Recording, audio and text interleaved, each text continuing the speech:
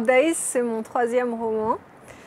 Et euh, en fait, pour moi, je pense que c'est un roman féministe parce que j'avais beaucoup, euh, beaucoup de brouillons, j'avais beaucoup commencé à écrire euh, à droite, à gauche. Et je voulais un personnage. Enfin, je voulais aborder ce sujet, mais de manière pas cliché, pas trop directe. Au réveil, je me sens comme une dinde froide, des filets de dinde sous vide.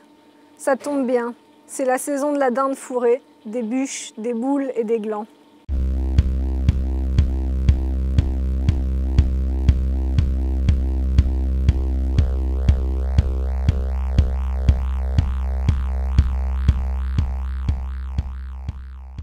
En fait, euh, moi j'ai toujours plutôt dessiné et, fait de la photo et tout ça. Et c'est vrai que je suis venue à l'écriture assez tard. Et en fait, euh, moi quand j'avais à peu près 19 ans, je suis partie à Londres et j'ai fait pas mal de photos et de dessins. Et quand je suis revenue à Paris un an après, euh, j'avais vraiment envie de faire un, bouquin avec quelques textes, mais surtout des photos et des dessins. Et j'ai rencontré pas mal d'éditeurs à ce moment-là. Et c'est vrai que j'avais plusieurs propositions. Mais au final, j'ai rencontré Gérard Bérébi des éditions Alia qui était vraiment intéressé par ce que je faisais. Et quand on s'est revu, il m'a dit euh, bah, Moi, je pense que vous êtes un écrivain, euh, banco. Euh, qu'est-ce, que, que ça vous fait Et j'ai été, mais c'était, je pense que c'est vraiment un jour qui a été un tournant dans ma vie. Et, je me suis dit Cette, chance-là qu'on est en train de me donner, je ne vais pas la laisser passer. Un, acteur célèbre du genre beau, riche, célèbre, qui a à peu près tout ce que tout le monde. Enfin tout ce qu'on nous vend, en tout cas dans, les magazines, et qui est vraiment antipathique, c'est-à-dire qu'il a l'impression d'être euh, le roi et, que le monde lui appartient. Et euh, au final, il va se laisser tenter euh, par des injections d'ADN pour changer d'apparence.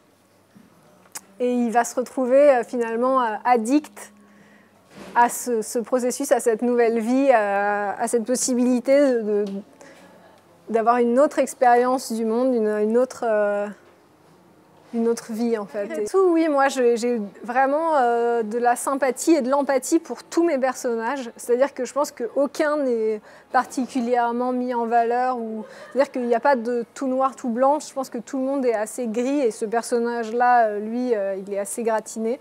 Mais j'ai quand même beaucoup d'empathie pour lui. Il se laisse tenter comme ça par quelque chose qu'on lui propose et c'est c'est aussi pour ça que quand on lui... c'est une facilité de, refuser d'être soi. Bah, je pense que c'est ça en fait quand on est joueur ou quand on est... Euh, que ce soit euh, jouer, être, euh, être un joueur impulsif au casino ou être addict à, quelque chose, que ce soit une drogue ou, un comportement, c'est refuser la responsabilité. En fait, c'est de dire, euh, bah, c'est pas moi, je, subis cette, cette addiction, je, refuse en fait la, responsabilité, le fait que euh, je suis responsable de mes actes, que chaque seconde compte, que la vie est courte et que du coup, justement, euh, chaque, chaque, même si on a l'impression qu'il y a des décisions qui n'ont pas beaucoup d'importance, finalement, chaque on est toujours libre et on fait, on fait des choix et les, les choix dans lesquels on persévère créer vraiment euh, une, une œuvre, une direction, une vie. quoi. J'espère euh, que mes lecteurs euh, vont s'y retrouver ou en tout cas que, que le livre va plaire et que forcément, ouais, j'espère forcément que ça va avoir de l'écho et j'attends avec impatience les retours des lecteurs.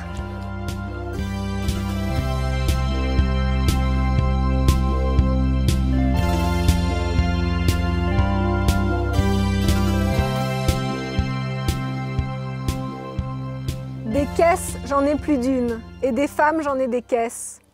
J'enfile les perles les unes à la suite des autres. À ce rythme-là, je pourrais bientôt fournir les vendeurs de colliers qui arpentent les plages du monde entier. Je les enchaîne, au radiateur parfois, quand je ne sais plus quoi faire pour m'exciter. Toutes ces belles plantes mangeuses de salade se laissent cueillir comme des fruits mûrs, et devant tant de facilité, tout semble fade. C'est à s'en éprendre de sade. Il y a les comédiennes débutantes qui rêvent d'un coup de piston, au propre comme au figuré, les belles anonymes, type serveuse ou caissière qui espèrent un scénario à la Pretty Woman, les lycéennes prêtes à tout et les vieilles qui ont soif de sang neuf. Toutes pareillement offertes, enrobées dans un beau paquet cadeau avec un gros nœud en bol duc. les yeux humides d'amour. L'amour, autant dire l'argent, le pouvoir et l'audit. Plus de 50% des gens fantasment plus souvent sur l'argent que sur le sexe. Avoir des couilles en or et éjaculer des paillettes.